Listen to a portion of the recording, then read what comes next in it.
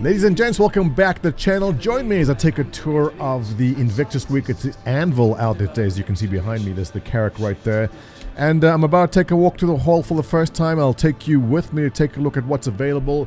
I think most of you know most of these ships anyways, but we'll go through them and uh, I'll give you my thoughts about them. Also, I believe there's a couple of holograms of uh, concept ships. We have the uh, the Crucible, Legionnaire, and Liberator. All very, very interesting ships. So stick around to the end because I have a lot to say about these three ships. Also see the Anvil, Spartan, Ballista, and Centurion. Cool. All right, let us begin. I, guess uh, the centerpiece, obviously the Carrack. Now, I'm going to get hate for this. But uh, the ship I am most excited for when it comes to exploration is actually the Odyssey. It is not out yet, but um, the Odyssey speaks to me as far as design goes. Now, the Carrack is an OG. It's one of the older ships in the game. Uh, beautiful, obviously, in its design and its functionality. And those uh, turrets on the sides. The size 5 is right, correct me if I'm wrong about that, but those are deadly, so don't get in the way of the side turrets. There are no pilot-controlled guns, but when it comes to exploration, this is the de facto, it's the go-to ship most people use because it's available right now. Uh, plenty of cargo space also for everything you need and lots of room inside for activities. Not to mention the med bay, which is extremely useful when playing with friends and, uh, and I was distracted by what the hell is happening here. Am I missing some sort of meeting? I see well at least it's working. I like what this guy's wearing. Hello there. Alright, let's move on to the arrow. So, uh, the go-to PvP ships in the game right now, it is this. It is the arrow and it is the gladius. It's one or the other. Really comes down to what your preferences are. And uh, I gotta say, it's the it's the ship I pull all the time. Uh, whenever there's something to shoot at, I go for the arrow. I just like the design. I like the way it looks. Um, if you recently bought the Fury, these are kind of that kind of match up very closely, except the arrow has quantum drive, much more fuel. So we're definitely better in that sense over there. But yeah, I like the look of it. Uh, I take the arrow over the gladius, just my preference. They're very, very close. So most of the top uh, PvP guys will go gladius. But uh, just for the aesthetic of it, I do love the arrow more than the other ships. And I guess I will took it. Uh, by the way, uh, Chrome Ninja, you were complaining that I wasn't dressed up for the last picture event we went to. So I'm dressed up now in black and yellow, you see? I pay attention. Aesthetic is very important. Uh, taking a look at the ship behind is the Gladiator. And I don't want to say it's one of the forgotten ships, but it is one of the forgotten ships in this game. This is the original bomber, not that it drops uh, gravity bombs, but more of a torpedo kind of missile ship, smaller torpedoes and missiles. Uh, also, very early ship in the game. I am a big fan of the design of the wings. I love the way it looks, but I'll be honest with you, the amount of times I've seen people actually fly this ship, I can count on one hand. Uh, I believe I do have one. Maybe it's melted, but I used to have one. Uh, it's just not used widely anymore. There are other ships which do a lot more better than it, and uh, it's too bad. I think maybe you'll see this come in to the game when there's more reasons to fly it, but it's just not used very often these days at all. Moving over to the right, we have the Space Turtle, also known as the Terrapin. Uh, fan favorite. A lot of people love this ship. Obviously, there's not much to do for it in the game right now because it is kind of a, a data runner. He's supposed to infiltrate areas and uh, listen in on information or whatever the purpose is uh, when the game loop comes in for it. So it's going to be uh, one of the, I guess, better shielded as far as shield armor. It's more of the armored ships in the game. That's the nickname, the Turtle. Uh, I love it. I love the look. I love the aesthetic. Uh, I don't own one. I don't think I'm going to own one because I just don't know much about the game loop and how much uh, more benefit there'll be having this versus, us, say, the Mercury Star Runner. But uh, definitely a unique ship. I know a lot of people want to see a variant about this. They want to see a, uh, a medical variant. I think that'll be amazing if CIG does go and just slap a red paint up on this and make this uh, a medical terrapin uh, heavily shielded, land in areas where there's a lot of uh, uh, oppressive fire, and you can take some hits. Definitely a great idea, I think, and uh, I'm sure CIG has paid attention to that, but just not on their list of things to do right now. But if there ever was a good idea for a variant, the Terrapin medical variant would be it. And speaking of medical ships, I do believe we saw the medical Pisces right around the corner over here. And uh, oh no, that's a, that's the Hawk. All right, so here's a ship I do have and I do fly. Uh, on my one alt account, um, I have two or three ships, this being one of them. It doubles as a combat ship. Not the best of combat ships, but fairly decent. Well, like I whooped across the screen over there. Uh, and what this ship is supposed to do, it's a game loop not in the game yet. It is a bounty hunter ship because at the back end over here is this cute little compartment over there. Uh, you can do a bed log out out there, but when bounty hunting becomes a thing, you stick your bounty in there and off you fly. So I love the idea of that. Obviously, that is not a game loop in yet, but uh, I do love the idea of a small single-seater bounty hunting ship. You stick your bounty in the back, off you go, and get your reward. I'm a fan of it. The design is not for everyone. It is weird. It is not uh, a very standard design, but uh, I, I, like it. Uh, it's got a cool window at the bottom where you can see yourself. You can look down and see landing very easily, and uh, a couple cool paint jobs on it, and it's not too bad in combat. Uh, with the EMPs, you can take down your opponent's shields and then uh, hammer them with your bunch of size ones. Uh, it is not bad at all.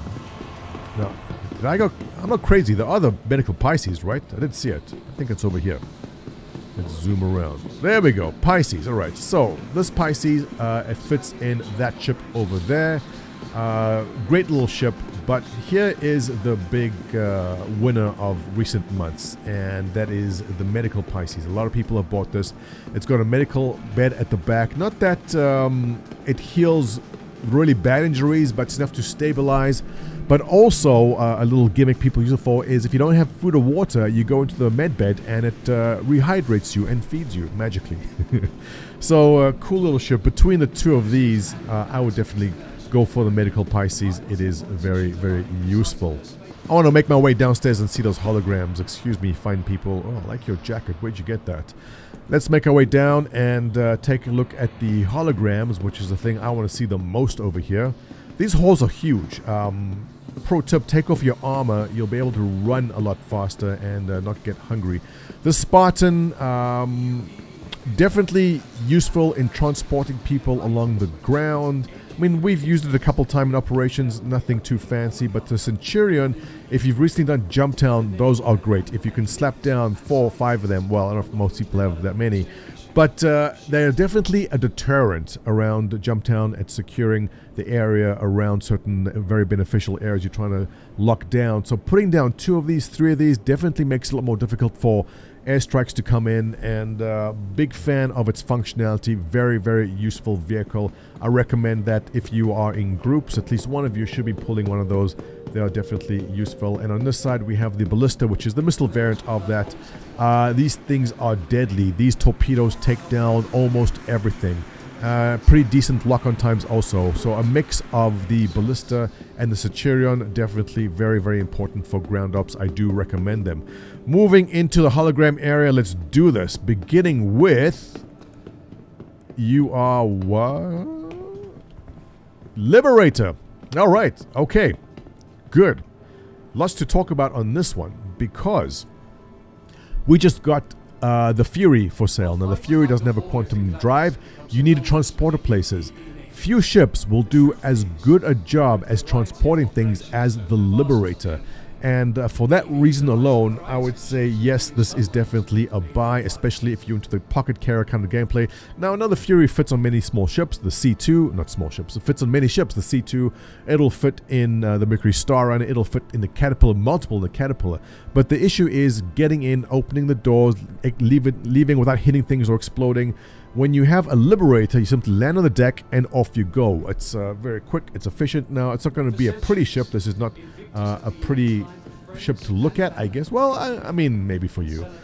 But uh, it is functional. And uh, there's definitely going to be a lot of uses for this in transporting small ships around like the Fury. So in my book, yes, this is definitely uh, an important one to have, especially if you're in larger groups. In the middle area, we have the let me just make sure I get the name before I say something wrong. The Legionnaire. Um, again, one I do own. Yes, this does look like a ship from Halo, doesn't it? The Pelican. Um, the Legionnaire is a boarding ship, and in the front over there is a docking kind of collar that's going to pop out, and you can dock onto ships with it. I love the look of it. I don't know how functional. Okay, it is functional. I don't know how important this is going to be in gameplay as far as boarding vessels go. Do you need to go and dock onto ships with it? That's the purpose of it. Um, I got it because I kind of just like the way it looks. Uh, I don't know if it's going to be used specifically for docking, but it's kind of a little troop carrier. And uh, that's what sold me on it, just that it looks like a, ship from Halo. so uh, I, I, would say, is this uh, an important ship to own? No. Is this something that is going to be useful? Maybe.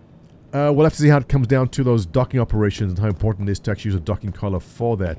And this brings us over to the next ship here, which is the Crucible. Uh, yes.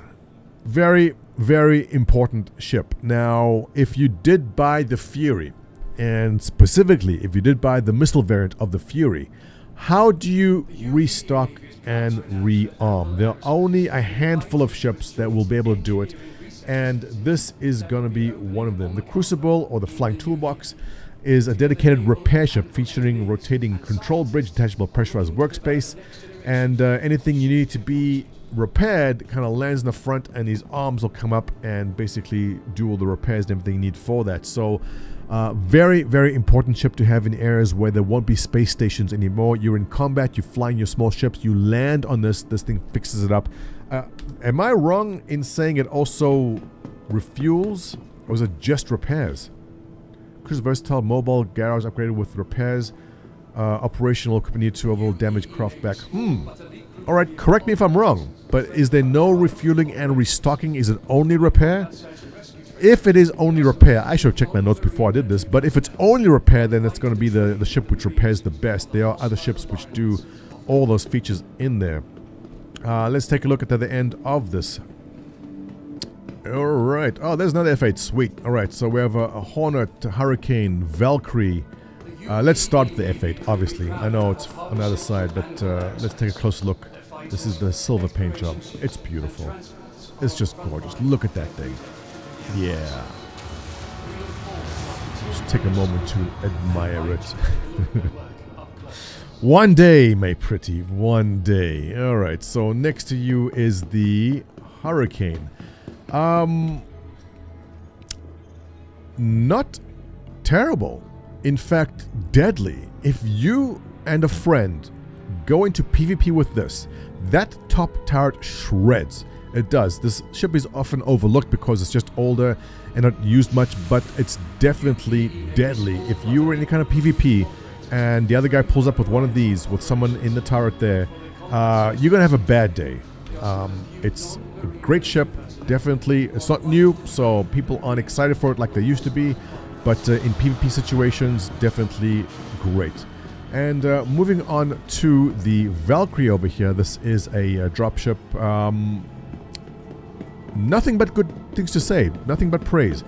It is widely used, uh, used a lot in operations We have to get a bunch of friends to go places. Lots of jump seats on it, lots of space in the back. You can carry a vehicle and cargo. Uh, it's definitely a must-have for large groups. If you have an org of 20 or 40 people, you should have at least one of these. Uh, nothing comes close in doing operations where you have to drop people off. The Valkyrie is the go-to ship for that. And on this side, we have a Hornet, the, the Mark II Hornet which is the the do we is this in the game i don't you know i haven't flown the hornet in so long but the mark ii over there and the f7c over here um i think we all know the hornets. Nothing new to say about that. Uh, typical workhorse uh, a lot of people use them all the time. And um, i gotta say i have not flown a hornet in a very very long time. As i said when i go shoot something I go straight for the arrow. Uh, if I'm not using the arrow, it's the Scorpius I've pulled. But uh, if you guys do fly the Hornet more than anything else, drop a comment below. Let me know why this still is your go-to ship. Uh, I think I'm just bored of the, the look of it. I'm just bored of the cockpit. I'm just going for the newer ships. And uh, I think that covers everything here. So thank you for joining me for my visit to Invictus for Anvil. Join me in two days for the next one. Is this one MISC? I think so. Uh, we're all waiting to see the Tumbril Storm, which is the new tank coming out. So join me for that. Subscribe to the channel. Uh, more exciting stuff coming. Comments below. Always appreciate it. If you like my content, give me a thumbs up. Subscribe. Catch you in the next one. Meat bags.